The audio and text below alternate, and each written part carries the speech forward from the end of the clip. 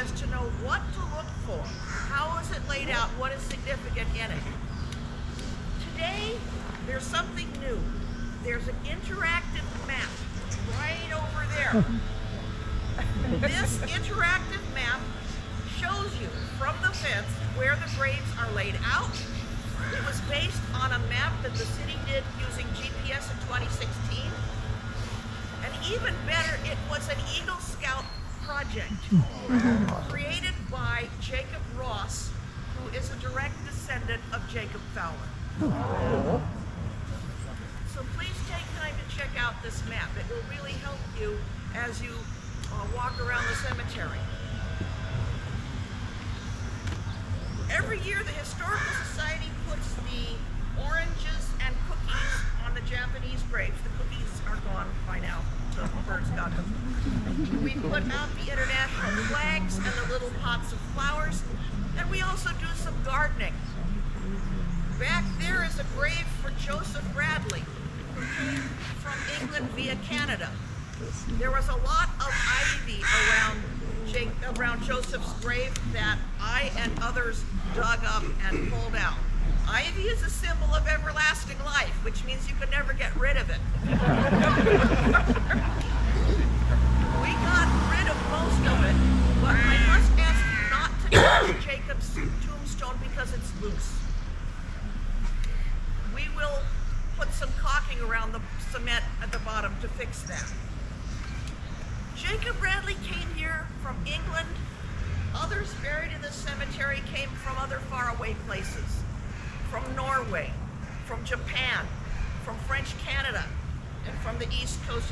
States.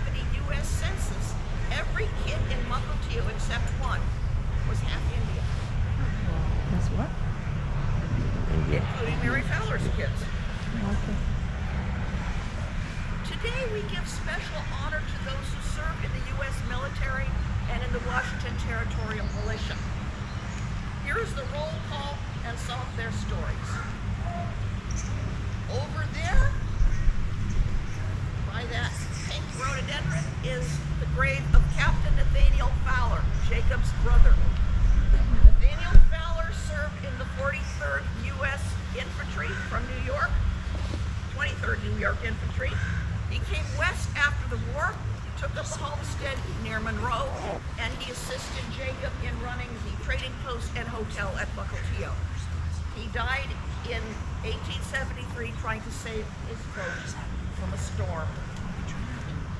He was the first to be buried in the cemetery. In that row along where the rhododendron is, you will also see the grave of Private Mortimer Fassett. Mortimer Fassett came here from Vermont. He left a wife and two children behind when he came to California in 1860 and he joined the 4th California Infantry. He was sent to Fort Yamhill in Oregon.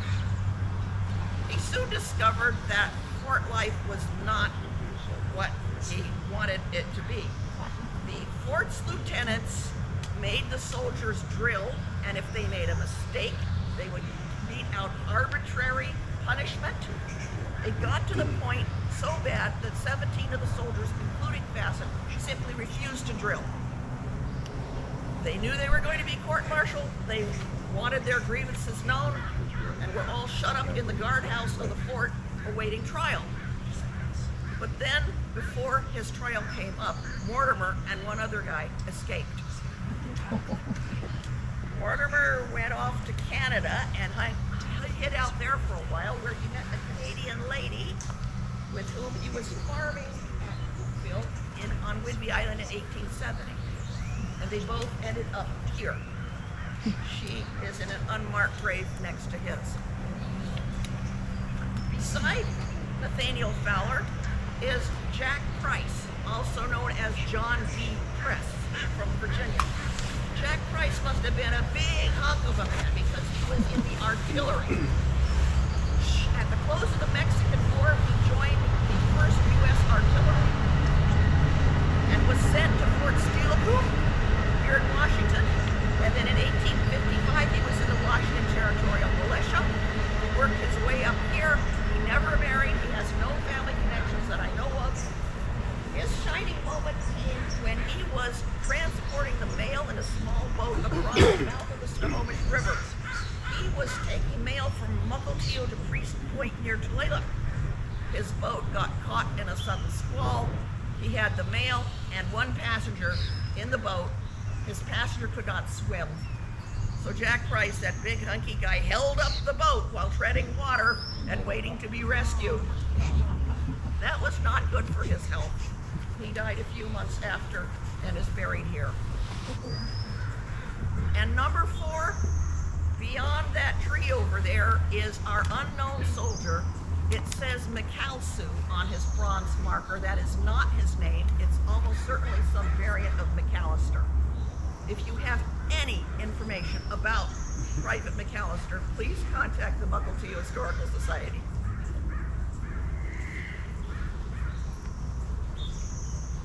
all, all of, for all of them, we thank them for their service.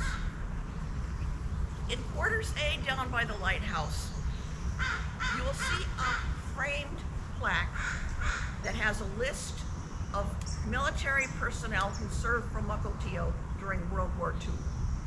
Some of these are of Gold Star families. The list includes servicemen from the Brodniak, Dutter, Losvar, McCormick, and Sinclair families. Relatives of families that are buried here, and living relatives like Eagle Scout Jacob Ross.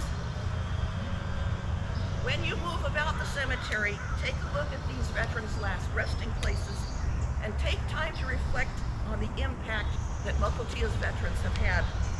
Some came to Mukilteo from distant places, some sent their sons into distant places. For all their service, we give thanks. Now please welcome His Honor, Mayor of Mukilteo, Joe Marine.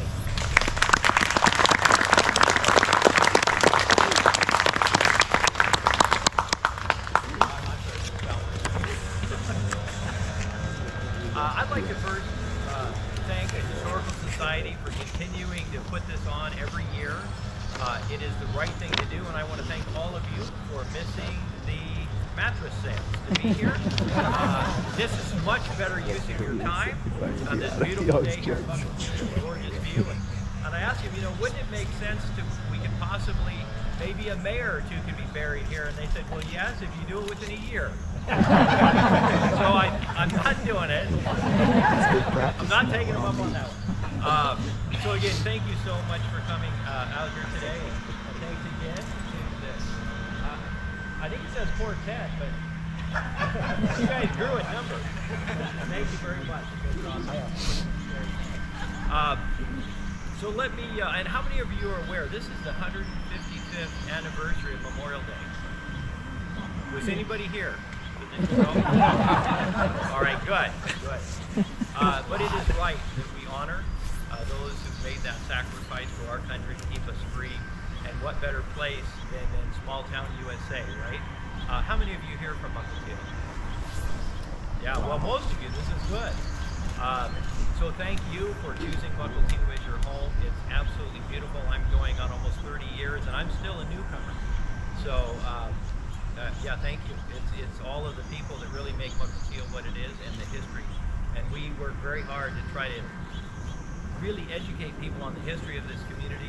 And I don't know how many know, this was, this was literally the first, this was the county seat for Snohomish County. This was one of the first uh, communities. It was the first post office within, uh, postmaster was here in Mukilteo. So now Everett gets all the, you know, the acclaim, but it was Mukilteo first, so. Yes. Today we gather here on this important day to honor and remember the brave men and women who have made the ultimate sacrifice in service to our great nation. Memorial Day is a day of remembrance, a day to pay tribute to those who gave their lives to protect the values and freedoms that we hold dear. As a mayor of Mukilteo, it is both an honor and a duty stand before you and speak on behalf of our community as we reflect on the sacrifices of our fallen heroes. Memorial Day is not just another long weekend or an opportunity for barbecues and relaxation. It is a time to stop and acknowledge the immeasurable debt we owe to those who fought and made the ultimate sacrifice in the name of freedom. Today we come together as a community to express our gratitude and respect for those who have served and for those who continue to serve our nation in uniform. In Mukilteo, we are fortunate to have a rich history of patriotism and long-standing tradition of honoring our veterans.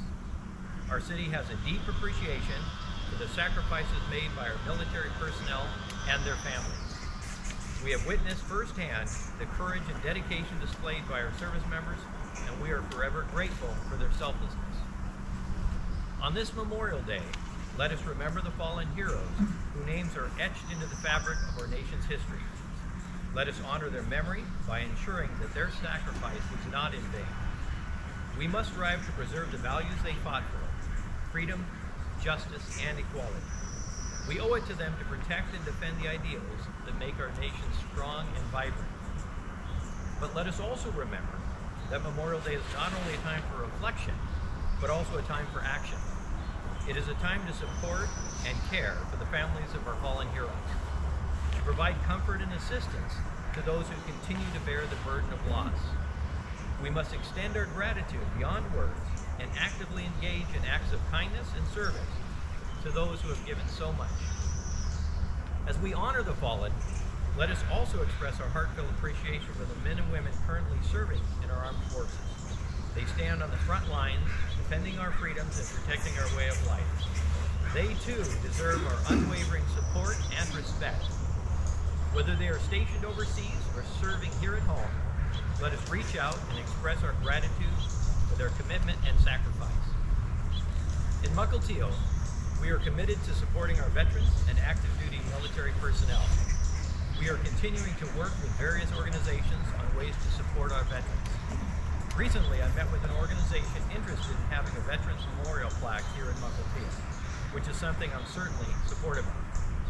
We must remember that our efforts should extend beyond Memorial Day as the needs of our veterans persist throughout the year. As we gather here today, let us not forget the true meaning of Memorial Day. Let us honor the memory of our fallen heroes by living lives of purpose and service. Let us carry their spirit with us as we work to build a stronger, more united Mukilteo and a nation worthy of their sacrifice. May we never forget the debt we owe to those who have given their lives in service to our nation. May their memory serve as a constant reminder of the cost of freedom and the responsibility we bear to preserve it. And may we always strive to honor their legacy by living lives that embody the ideals they fought and died for. Thank you.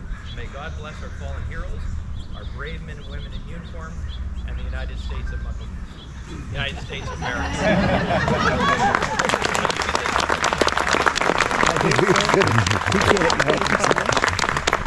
At this time, I would like to bring uh, VFW 2100. They are going to do the flag ceremony.